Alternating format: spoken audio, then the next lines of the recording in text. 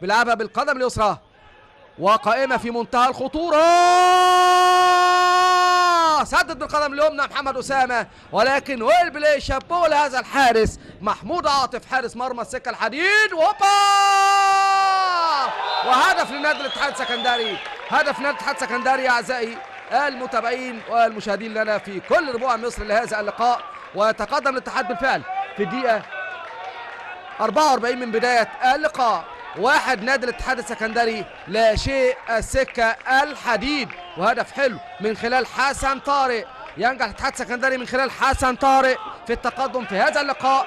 حسن طارق يصنع الفرحة لنادي الاتحاد السكندري بهدف أول في الدقيقة 43 من بداية هذا اللقاء. وبنشوف الهدف أكثر من مرة. تصويبة إنما well played لهذا الحارس محمود عاطف هنا تيجي مرة تاني وتصويبة قوية من محمد أسامة إنما الحارس برضه آه، شابوه لهذا الحارس يصدق هيعمل أكتر من كده توصل ليه